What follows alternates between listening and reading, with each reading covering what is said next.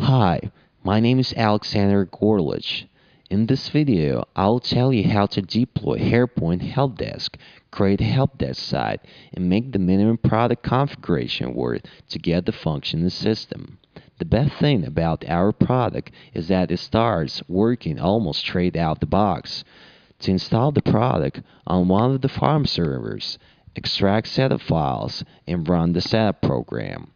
In the second wizard step, the setup program will check the ability to install, availability of necessary components and permissions. In case of any problems, fix them and restart the setup program.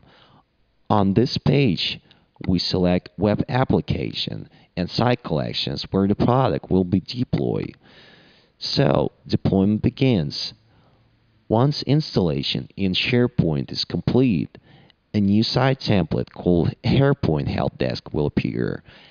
Help Desk site can be deployed on the existing site but we recommend creating a separate site for the product and placing only the interface web part of the product on your main working website. In this interface web part, users can submit their requests and view responses. Web part will interact with the help desk site specified in settings. Installation complete successfully. Close the wizard and go to the SharePoint site. Now we need to create a new site by using the SharePoint Help Desk template. And on one of the sites, place a web part through which users will access the help desks. We need to specify the name and address of the site. When creating a site with the HarePoint Help Desk template, you create a new empty website with the activate feature with HarePoint Help Desk name. When you activate the feature on the site, HarePoint Help Desk lists are created as well as event handlers, workflows, and notification templates sent by email. Product settings are initiated by default values. If necessary, Uh, the help desk site can be created manually. You can create it with any template and then activate the HarePoint Help Desk feature on it. However, this approach may end up in conflict of list names. I will tell about later. So, website creation is complete. Inside settings section, you can find the HarePoint help desks for SharePoint, block to access requests, graphic reports, and product settings. Links to requests and reports can be published in any convenient place so that support operators do not need to go to help desk for site settings. Insert the link to homepage and click save. And now let's go back to product settings. They are all filled with default values, but we should specify the list of technicians who will handle requests, as well as the list of users and groups who can create requests. When installing the product, refer to documentation to be sure that users added as technicians have enough rights to work with lists on the help desk side. So, minimum settings are made. Now we need to place a web part on one of the websites. This part will be used by users for submitting requests. I will do this on the root website. To do this, I will create a new page.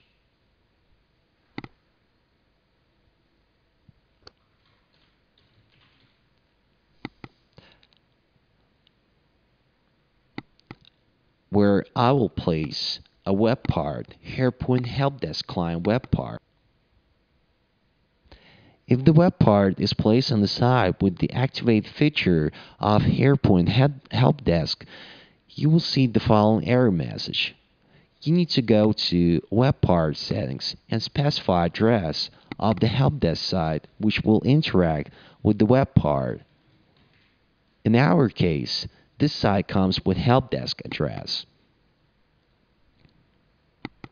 Now save the page. Here, the user can see a list of requests. Now it is empty, but the user may create a new request. This form can be configured and you can add additional fields. So now we see two fields, category and product, which currently have no values. Let's assume that our department is engaged in supporting coffee machines in the office and before users start to create requests, let's determine categorization of requests. On the help desk side, we can see lists that were created during activation of HarePoint Help Desk feature. We recommend creating a separate side for Help Desk as conflict of list names may occur on the existing side. Let's create a new request category for the case when we have run out of coffee, sugar, or water. We can immediately specify a support representative which will be automatically assigned to the request of this category and the category of technical problems.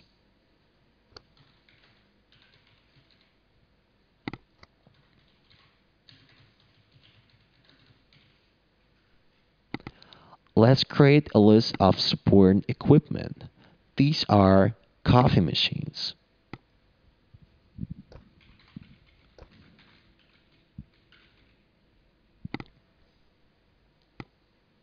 Kettles. And coolers.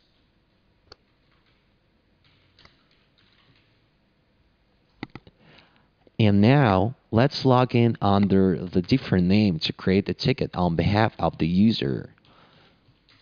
The user name test1 creates a new ticket. We have run out of sugar.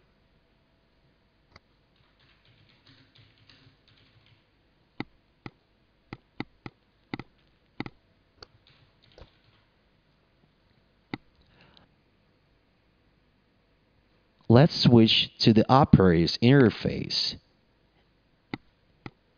and we will see the ticket and responsible specialist which was assigned automatically. Requests can be viewed without page reload. Now let's send a response to the user.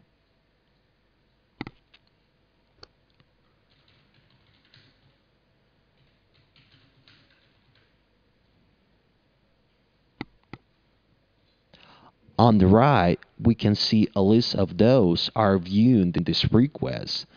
If the request was submitted, for example by phone, the operator can also create requests from users manually. So, the product is functioning and it can be used. And now, go to the user's mailbox.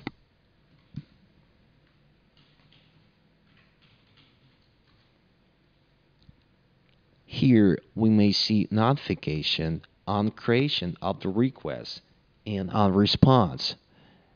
There may also be notification on request changes or a new response. Operators receive similar notification.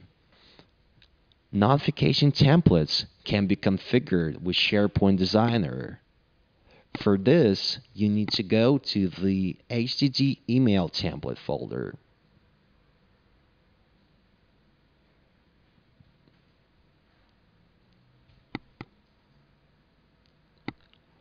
For localization purposes, create a subfolder with the name of culture, for example, en-us, and place template copies there so that users will be able to get notification in their native language. Templates use macros which are described in detail in the documentation. The entire logic of the product is moved to declarative workflows you can configure the logic of sending notifications or override the entire logic of processing requests. Documentation features more detailed information on this. In the algorithm supplied with the product, operators receive additional notification in case no responsible specialist was assigned to the request for longer than specified in the service level agreement list. Now, take a look at this list.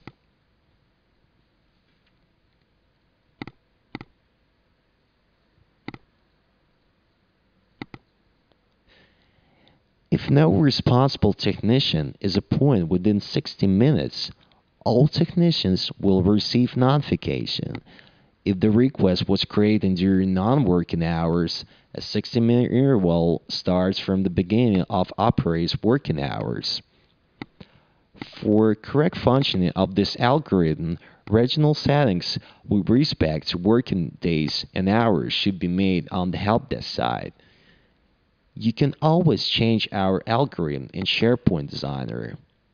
Also, the product is designed for joint work of small groups of technicians. It comes with a dashboard and a large set of reports for operation quality control.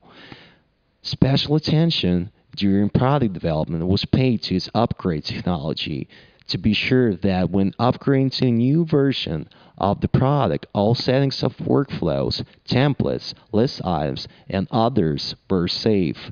We consider our product to be optimal in terms of flexibility and functionality for small work groups, and we also use it on harepoint.com to support our users. I hope this video was informative for you, and I would like to thank you for viewing.